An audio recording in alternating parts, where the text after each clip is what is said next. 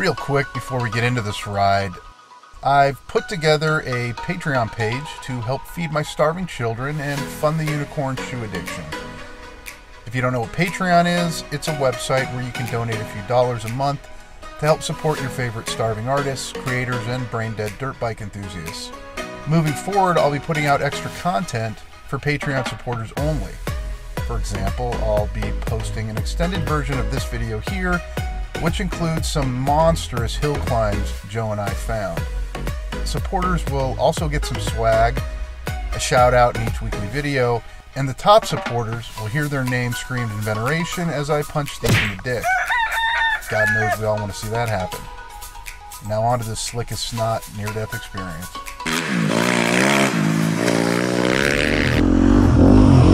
Never ridden here, and I was going to be solo today. Kind of a last-minute ride. Luckily, one of the one of our fans, Joseph Farrow, put the call out on Facebook, and he rose to the occasion, so he's out here with me. Go off trail, it'd be very hard to get your bike out by yourself. So it's always good to have somebody along with you. Especially when you're riding an area that's not very heavily written. It's raining, so I hope the camera doesn't get too waterlogged.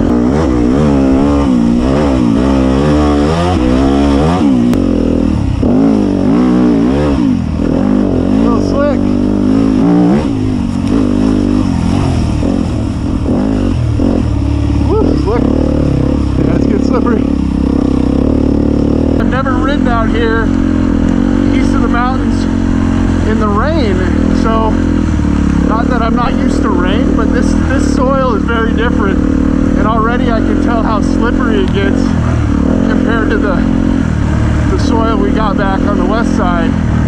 Um, main difference is I think there's a lot more clay in this, so it just turns into ice. So I'm just going to be a little bit more careful until the rain lets up. Hopefully it lets up soon.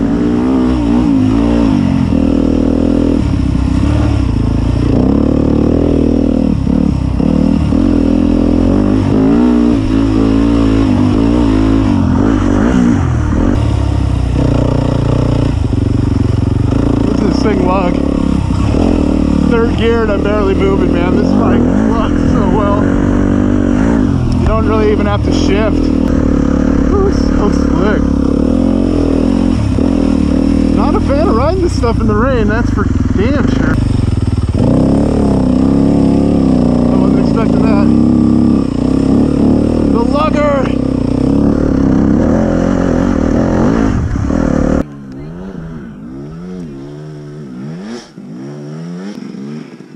Yeah, this hill cut. Look at his tires. Look at those tires. Are mine that gunked up? Holy shit. No, mine aren't that bad.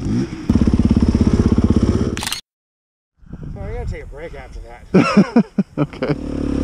Joe's rear tire is just caked with mud. Holy. My tire's holding up pretty good. It's not sucking up a lot of mud like his. Get after it. It's muddy, buddy.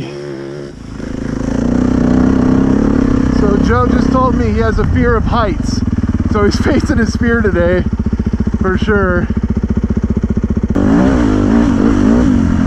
Got clear cut a lot, so we're having to really look and make sure we don't lose the trail.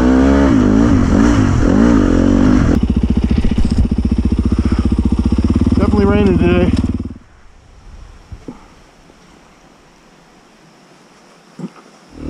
Man, I'm really glad he brought an extra coat because I forgot a jacket.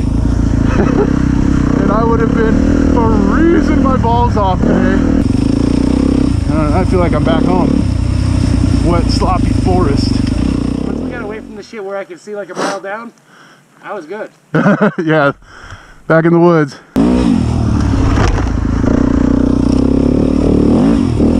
little overgrown. Ah! I'm sure that one got you. All right, it's beer time.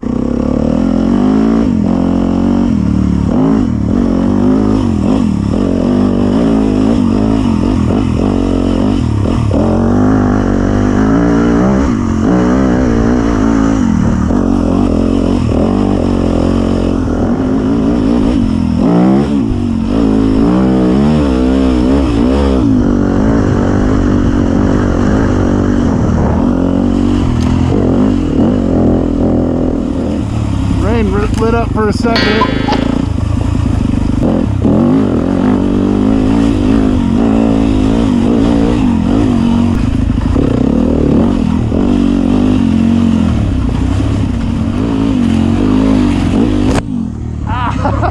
That one got me right in the face.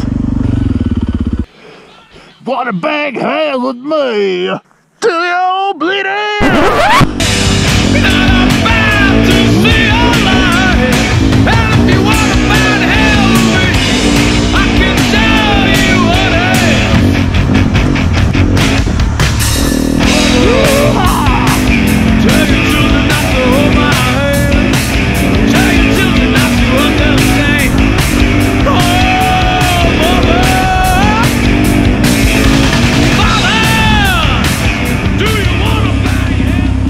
section in those woods.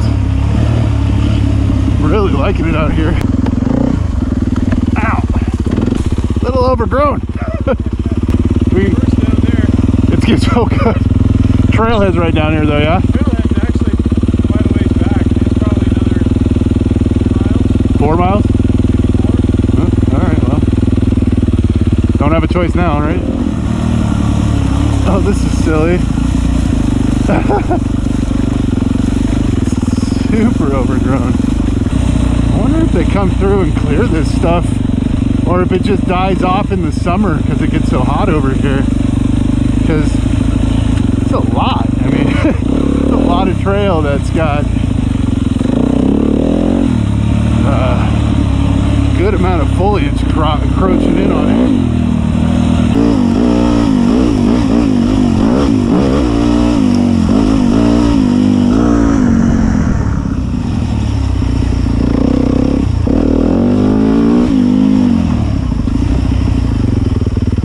Woo! Don't come around these corners too fast.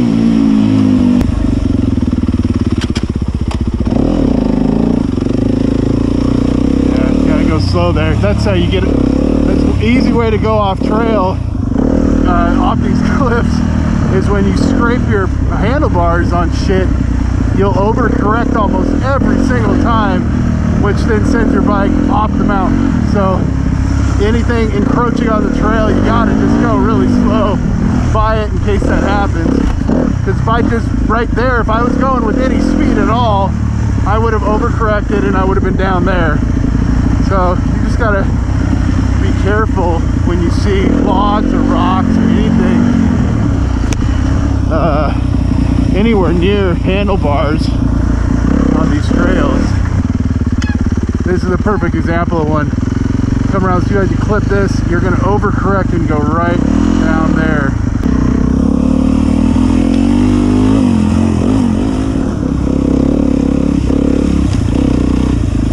Whew. That is butthole puckering steep right there.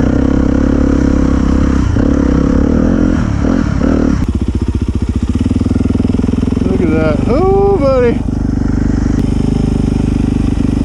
Cool hills.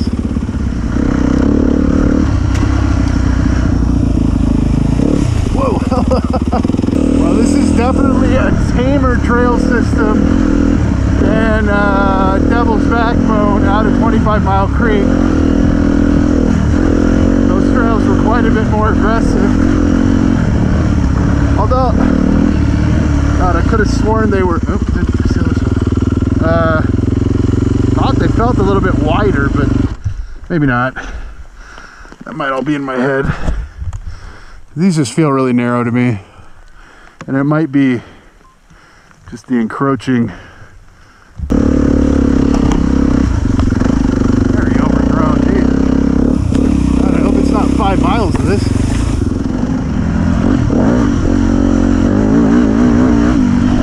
God, I always forget this. It saves these bags. These- I buy these cheap bicycle bags and if you just put a bungee on it, keeps it from bouncing. Save the bag. Oh, back into this shit.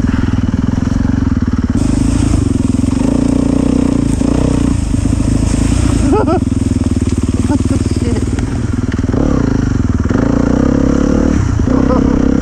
Slippery.